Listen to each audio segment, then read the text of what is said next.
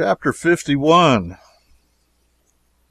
Nazareth is wonderfully interesting because the town has an air about it of being precisely as Jesus left it, and one finds himself saying all the time, "The boy Jesus has stood in this doorway, has played in that street, has touched these stones with his hands, has rambled over these chalky hills."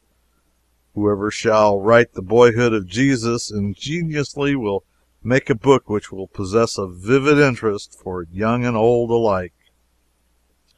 I judge so from the greater interest we found in Nazareth than any of our speculations upon Capernaum and the Sea of Galilee gave rise to.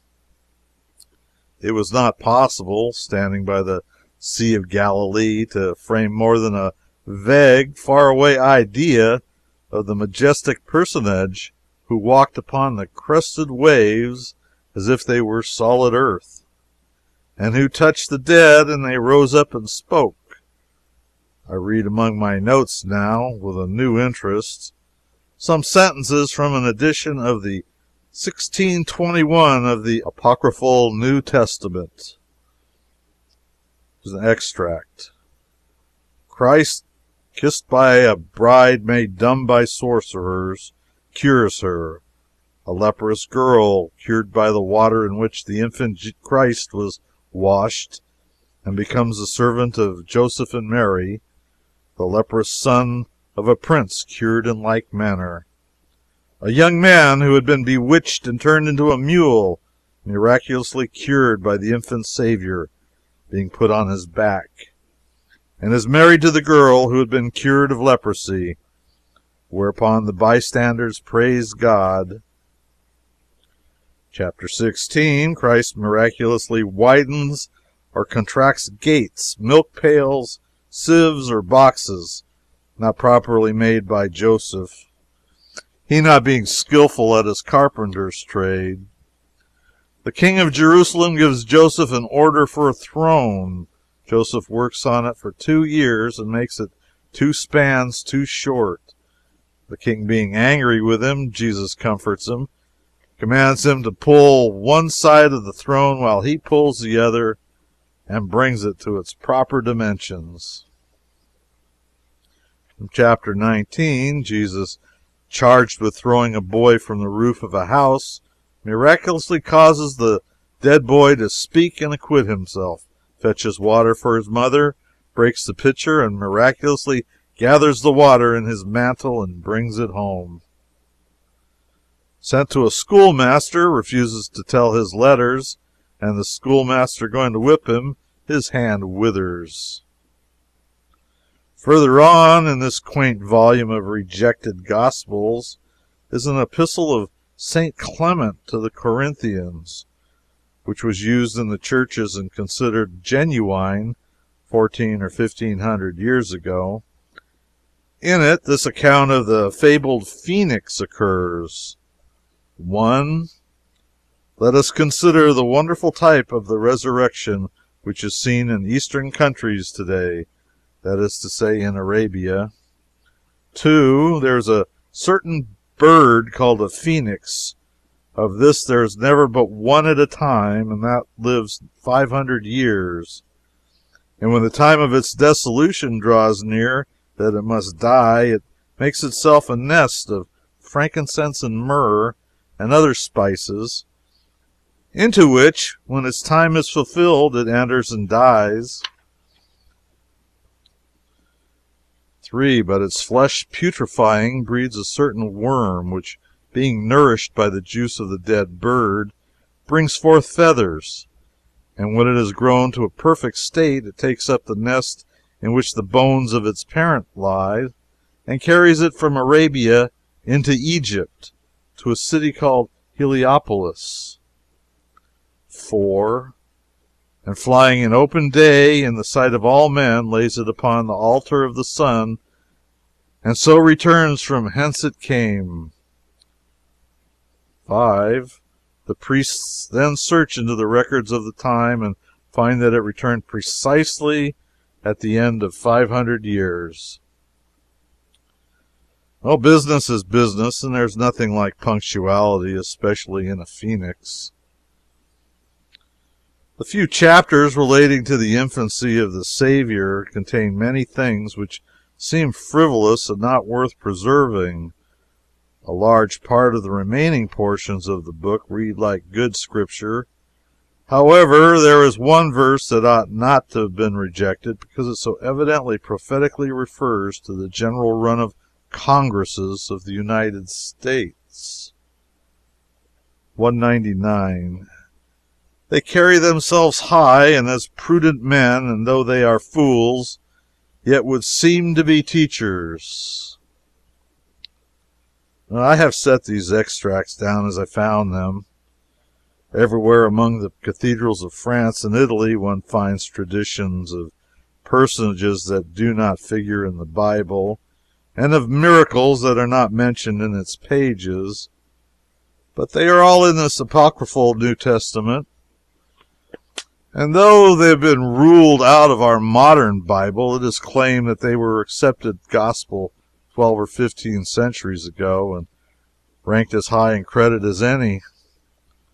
One needs to read this book before he visits those venerable cathedrals with their treasures of tabooed and forgotten tradition.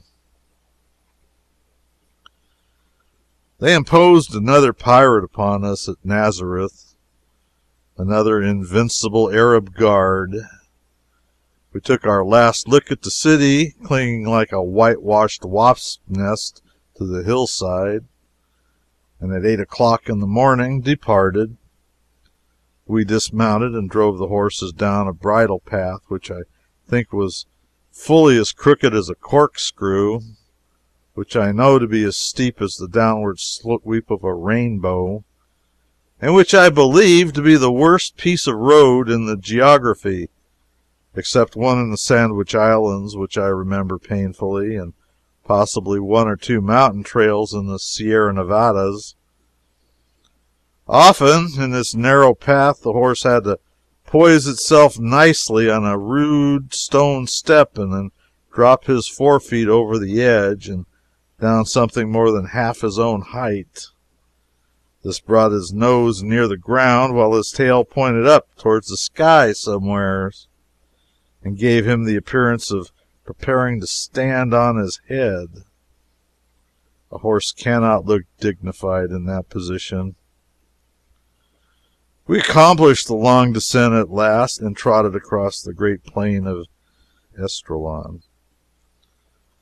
Some of us will be shot before we finish this pilgrimage. The pilgrims lead nomadic life and keep themselves in a constant state of quixotic heroism. They have their hands on their pistols all the time, and every now and then, when you least expect it, they snatch them out and take aim at Bedouins who are not visible, and draw their knives and make savage passes at other Bedouins who do not exist. I am in deadly peril always, for these spasms are sudden and irregular, and of course I cannot tell when to be getting out of the way. If I am accidentally murdered some time during one of these romantic frenzies of the pilgrims, Mr. Grimes must be rigidly held to answer as an accessory before the fact. If the pilgrims would take deliberate aim and shoot at a man, it would all be all right and proper, because that man would not be in any danger. But these random assaults are what I object to. I do not wish to see any more places like Esdraelon, where the ground is level and people can gallop. It puts melodramatic nonsense into the pilgrims' heads. All at once one is jogging along stupidly in the sun and thinking about something ever so far away. Here they come, at a stormy gallop, spurring and whooping at those ridgy old sore backed plugs till their heels fly higher than their heads, and as they whiz by, out comes a little potato gun of a revolver, and there is a startling little pop, and a small pellet goes singing through the air. Now that I have begun this pilgrimage, I intend to go through with it, though, sooth to say, nothing but the most desperate valor has kept me to my purpose up to the present time. I do not mind Bedouins. I am not afraid of them, because neither Bedouins nor ordinary Arabs have shown any disposition to harm us, but I do feel afraid of my own comrades. Arriving at the furthest verge of the plain, we rode a little way up a hill and found ourselves at Endor, famous for its witch. Her descendants are there yet. They were the wildest horde of half naked savages we have found thus far. They swarmed out of mud beehives, out of hovels of dry goods box pattern, out of gaping caves under shelving rocks, and out of crevasses in the earth. In five minutes the dead solitude and silence of the place were no more, and a begging, screeching, shouting mob were struggling about the horses' feet and blocking the way. Bucksheesh! Bucksheesh! Bucksheesh! Howadji! Bucksheesh! It was Magdala over again. Only here the glare from the infidel eyes were fierce and full of hate. The population numbers two hundred and fifty, and more than half the citizens live in caves in the rock. Dirt, degradation, and savagery are Endor's specialty. We say no more about Magdala and Deborah now. Endor heads the list. It is worse than any Indian campoodie the hill is barren and rocky and forbidding. No sprig of grass is visible, and only one tree this is a fig tree which maintains a precarious footing among the rocks at the mouth of the dismal cavern once occupied by the veritable Witch of Endor. In this cave, tradition says, Saul, the king, sat at midnight and stared and trembled while the earth shook. The thunders crashed among the hills, and out of the midst of fire, smoke, the spirit of the dead prophet rose up and confronted him. Saul had crept to this place in the darkness, while his army slept, to learn what fate awaited him in the morrow's battle. He went away a sad man, to meet disgrace and death. A spring trickles out of the rock in the gloomy recesses of the cavern, and we were thirsty. The citizens of Endor objected to our going in there. They do not mind dirt, they do not mind rags, they do not mind vermin, they do not mind barbarous ignorance and savagery, they do not mind a reasonable degree of starvation, but they do like to be pure and holy before their God, whoever he may be, and therefore they shudder and grow pale at the idea of Christian lips polluting a spring whose waters must descend into their sanctified gullets. We had no wanton desire to wound even their feelings or trample upon their prejudices, but we were out of water, thus early in the day, and we were burning up with thirst. It was at this time and under these circumstances that I framed an aphorism which has already become celebrated. I said, Necessity knows no law. We went in and drank. We got away from the noisy wretches finally, dropping them in squads and couples as we filed over the hills the aged first, the infants next, the young girls further on. The strong men ran beside us a mile, and only left when they had secured the last possible piastre in the way of bucksheesh.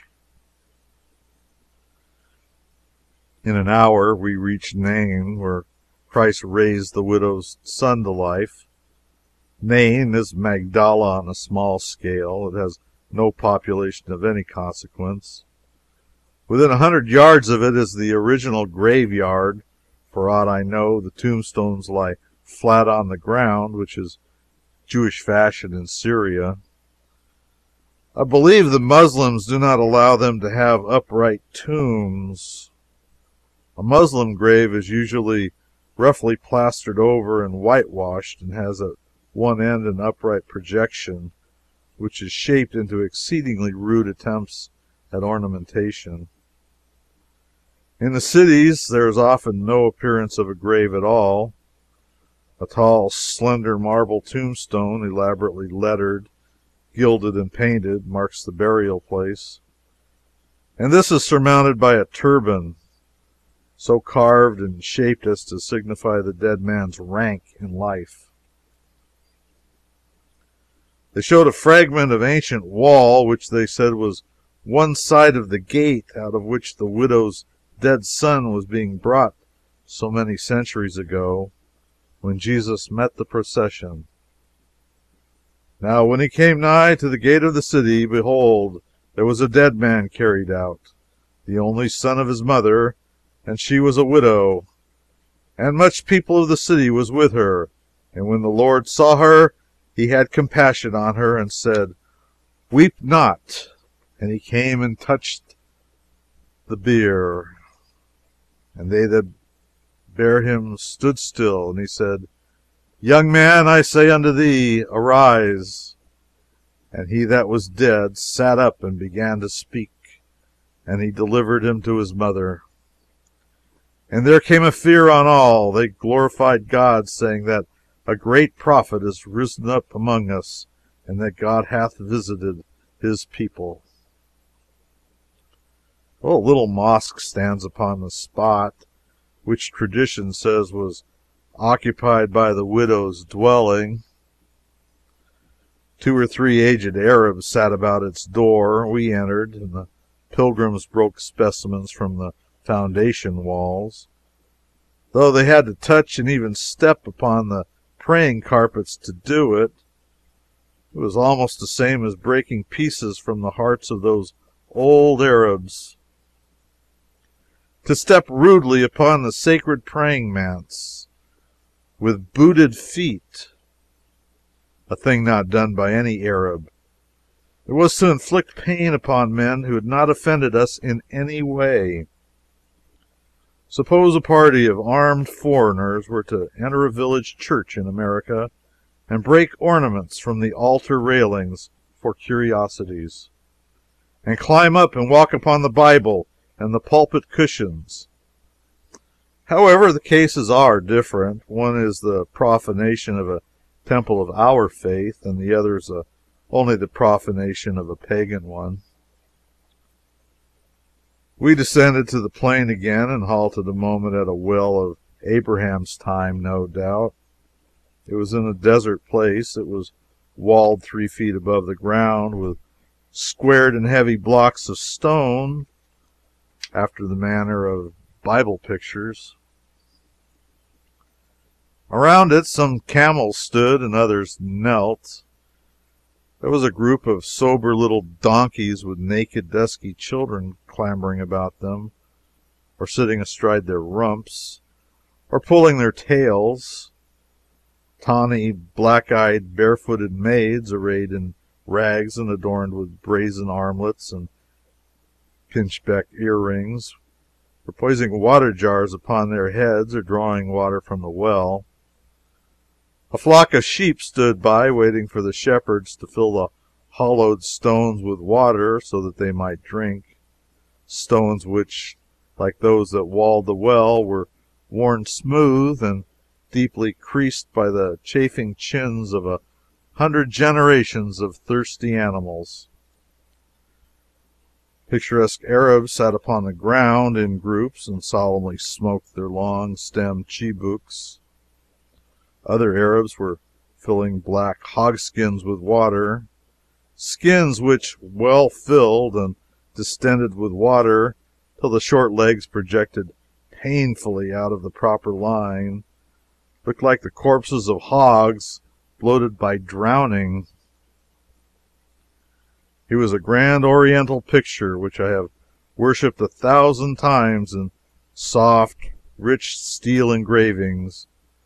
But in the engravings there was no desolation, no dirt, no rags, no fleas, no ugly features, no sore eyes, no feasting flies, no besotted ignorance in the countenances, no raw places on the donkeys' backs, no disagreeable jabbering in unknown tongues, no stench of camels, no suggestion that a couple of tons of powder placed under the party and touched off would heighten the effect and give the scene a genuine interest and a charm which it would always be pleasant to recall, even though a man lived a thousand years. Oriental scenes look best in steel engravings. I cannot be imposed upon any more by that picture of the Queen of Sheba visiting Solomon. I shall say to myself, You look fine, madam, but your feet are not clean and you smell like a camel.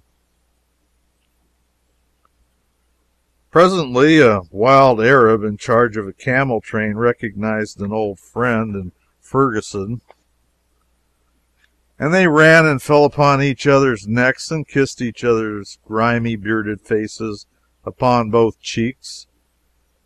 It explained instantly, as something which had always seemed to me only a far fetched Oriental figure of speech. I refer to the circumstance of Christ rebuking a Pharisee or some other character, and reminding him that from him he had received no kiss of welcome. It did not seem reasonable to me that men should kiss each other, but I am aware now that they did. There was reason in it, too. The custom was natural and proper, because people must kiss, and a man would not be likely to kiss one of the women of this country of his own free will and accord. One must travel to learn.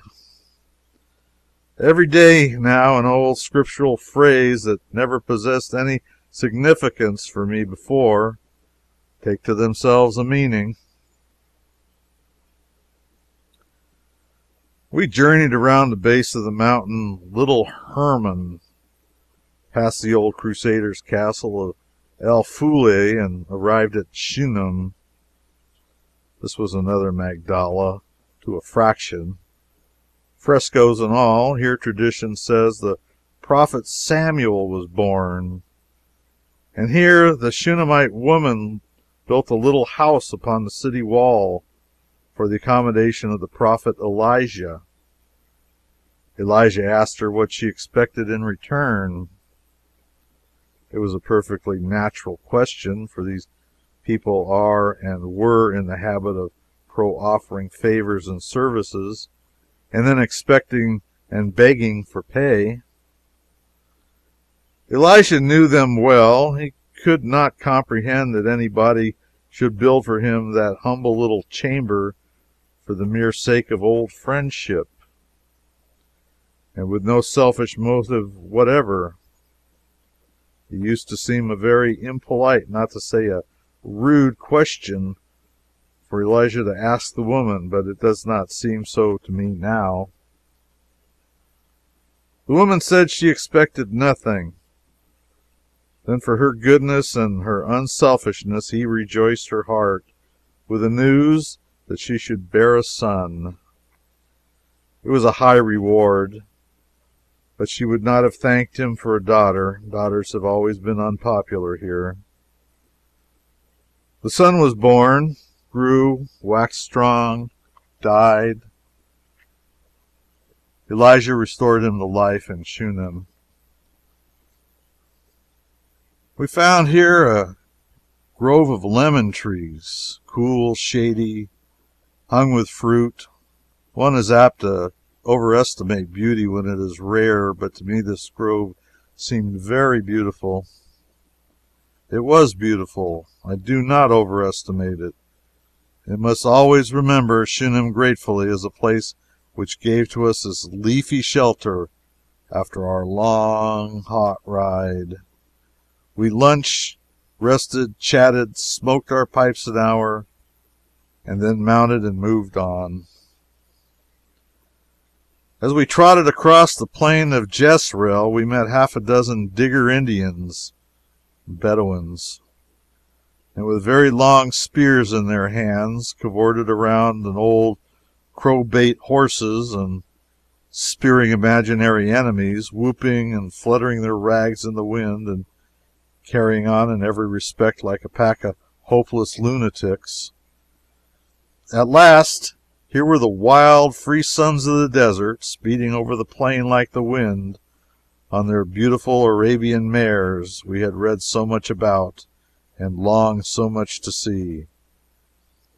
Here were the picturesque costumes. This was the gallant spectacle. Tatterdemalion vagrants, cheap braggadocio, Arabian mares, spined and necked like the ichthyosaurus in the museum, and humped and cornered like a dromedary. To glance at the genuine son of the desert is to take the romance out of him forever. To behold his steed is to long in charity to strip off his harness and let him fall to pieces. Presently we came to a ruinous old town on a hill, the same being the ancient Jezreel. Ahab, king of Samaria, this was a very vast kingdom for those days, and was very, very nearly half as large as Rhode Island, dwelt in the city of Jezreel, which was his capital. Near him lived a man by the name of Naboth, who had a vineyard. The king asked him for it, and when he would not give it, offered to buy it, but Naboth refused to sell it. In those days it was considered a sort of crime to part with one's inheritance at any price, and even if a man did part with it, it reverted to himself or his heirs again at the next jubilee year. So this spoiled child of a king went and lay down on the bed with his face to the wall and grieved sorely. The queen, a notorious character in those days, and whose name is a byword and a reproach even in these, came in and asked him wherefore he sorrowed, and he told her. Jezebel said she would secure the vineyard, and she went forth and forged letters to the nobles, wise men, in the king's name, and ordered them to proclaim a fast and set Naboth on high before the people and suborned two witnesses to swear that he had blasphemed. They did it, and the people stoned the accused by the city wall, and he died. Then Jezebel came and told the king, and said, Behold, Naboth is no more. Rise up and seize the vineyard. So Ahab seized the vineyard and went into it to possess it. But the prophet Elijah came to him there and read him his fate and the fate of Jezebel and said that in the place where dogs licked the blood of Naboth, dogs should also lick his blood. And he said likewise, the dogs should eat Jezebel by the wall of Jezreel. In the course of time, the king was killed in battle, and when his chariot wheels were washed in his own pool of Samaria, the dogs licked the blood.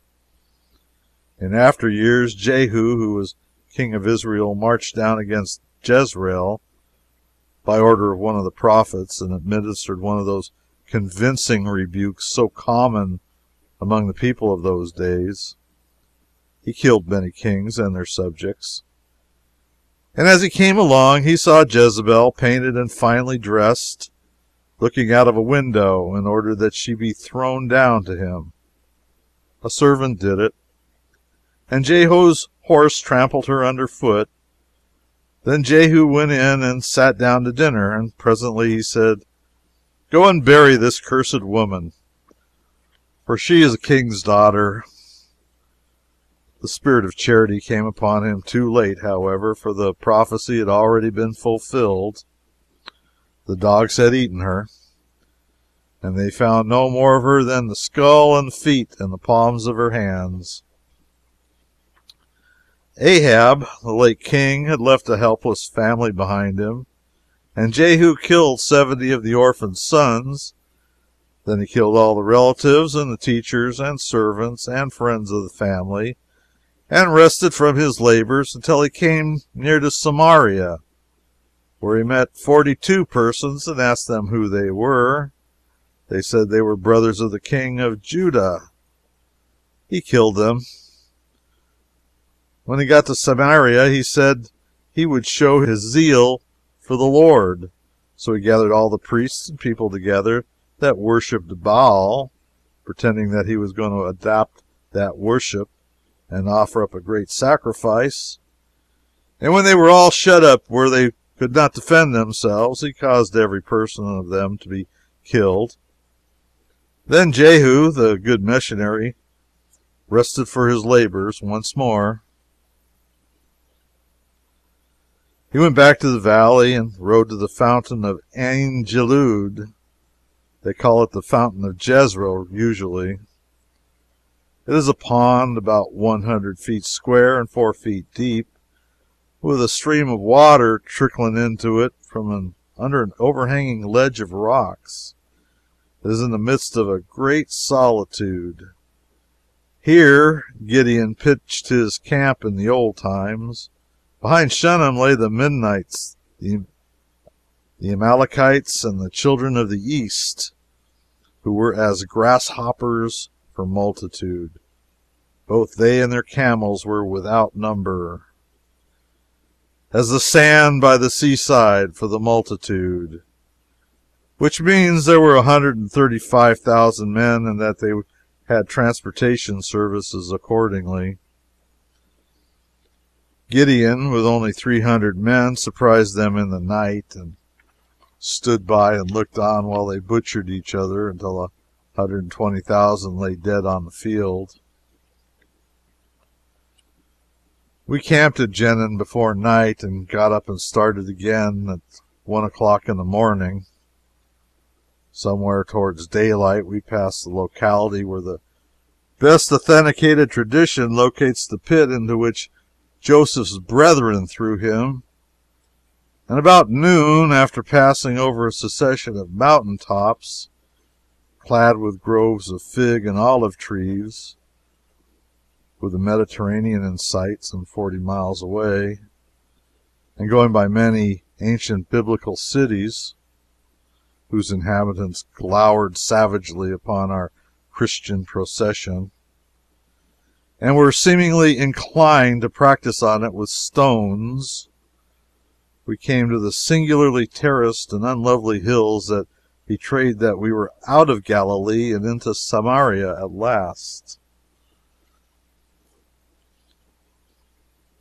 We climbed a high hill to visit the city of Samaria, where the woman may have hailed from who conversed with Christ at Jacob's well, and from whence, no doubt, came also the celebrated Good Samaritan. Herod the Great is said to have made a magnificent city of this place, and a great number of coarse limestone columns, twenty feet high and two feet through, or almost guiltless architectural grace of shape and ornament, are pointed out by many authors as evidence of the fact. They would not have been considered handsome in ancient Greece, however. The inhabitants of this camp are particularly vicious, and stoned two parties of our pilgrims a day or two ago, who brought about the difficulty by showing their revolvers when they did not intend to use them a thing which is deemed bad judgment in the far West, and ought certainly to be considered anywhere. In the new territories, when a man puts his hand on a weapon, he knows that he must use it he must use it instantly, or expect to be shot down where he stands. These pilgrims had been reading Grimes. There was nothing for us to do in Samaria but buy handfuls of old Roman coins at a franc a dozen, and look at a dilapidated church of the Crusaders, and a vault in it which once contained the body of John the Baptist. This relic was long ago carried away to Genoa. Samaria stood a disastrous siege once, in the days of Elisha, at the hands of the king of Syria. Provisions reached such a figure that an ass's head was sold for eighty pieces of silver, and the fourth part of a cab of dove's dung for five pieces of silver. An incident recorded of that heavy time will give one a very good idea of the distress that prevailed within these crumbling walls. As the King was walking upon the battlements one day, a woman cried out, saying, Help, my lord, O King! And the King said, What aileth thee? And she answered, This woman said unto me, Give thy son, that we may eat him to day, and we will eat my son to morrow. So we boiled my son, and did eat him. And I said unto her on the next day, Give thy son, that we may eat him. And she hath hid her son. The prophet Elijah declared that within four and twenty hours the prices of food should go down to nothing, almost, and it was so. The Syrian army broke camp and fled, for some cause or other.